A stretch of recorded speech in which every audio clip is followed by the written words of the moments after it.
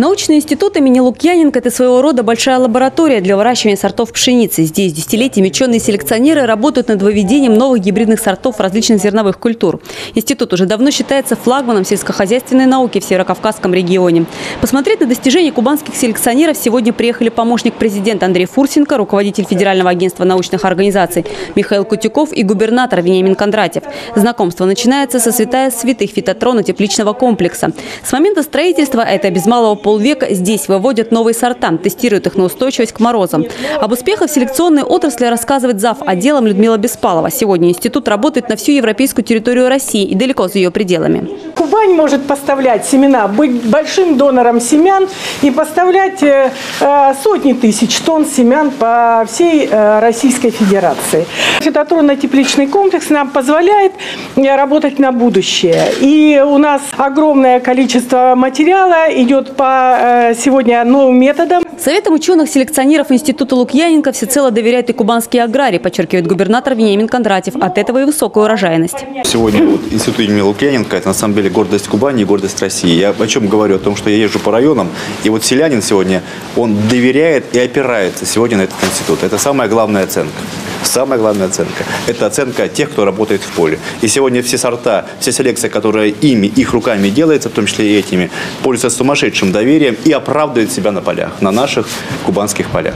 Уже не в тепличном комплексе, а под открытым небом гости осматривают поля. Все, что здесь высажено, тестируется по многим показателям, рассказывают ученые. Ведь главная особенность селекции в том, чтобы видеть растения каждый день. Утром, днем и вечером. Наблюдать за ними. Знакомство с кубанской землей гости продолжают в воздухе. С высоты птичьего полета хорошо видно, какие земли уже осваиваются, а какие простаивают в холостую. На некоторых даже просматривается коммерческая стройка. В Красноармейском районе делегация побывала на рисовых полях, а в Кореновском – на опытно-семеноводческом хозяйстве «Березанское». Итоги рабочего дня губернатор Москвы московские гости и ученые подводят уже в кабинете.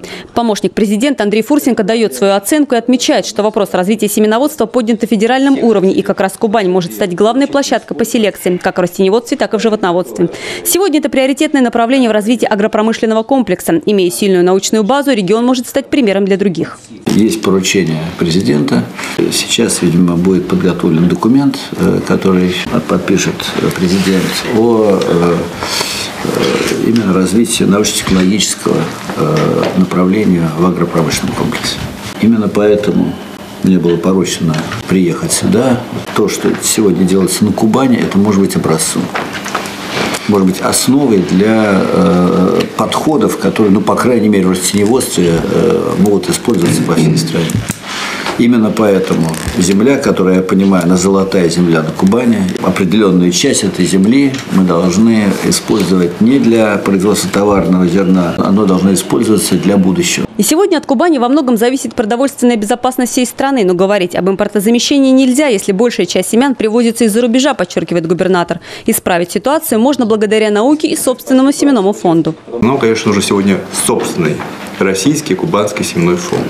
А это, конечно, только наука. Сегодня поддержать науку, это значит поддержать сегодня нашу селекцию, значит поддержать завтрашний день.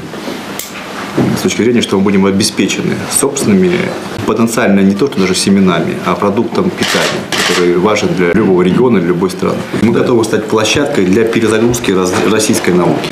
Поэтому здесь очень важно для нас, чтобы сегодня связи с вашим э, приездом придать определенные точки роста, новое ускорение, может, определенную модернизацию нашей кубанской науки, чтобы было четкое понимание, что сегодня можно еще с точки зрения потенциала здесь нам сделать. Кубань во все времена по праву считалась житницей России. Чтобы поддерживать и развивать семеноводческий потенциал, нужно грамотно использовать природный ресурс. Земля, за которой следят и на которой работают, дают свои плоды. Губернатор еще раз подчеркивает, есть научные институты, где ученые каждый день выходят в поле. А есть и такие, где полевых работах забыли давно. Сегодня видели поля, которые принадлежат научным организациям, объединениям. То есть, конечно, где-то они вовлечены в оборот селекционный оборот, где-то они, сегодня мы увидели площадки, как я уже сказал, колосятся, где-то забракованы, где-то еще надежда теплится, где-то где, -то, есть абсолютно уверенность в том, что мы получим новые сорта и новую урожайность.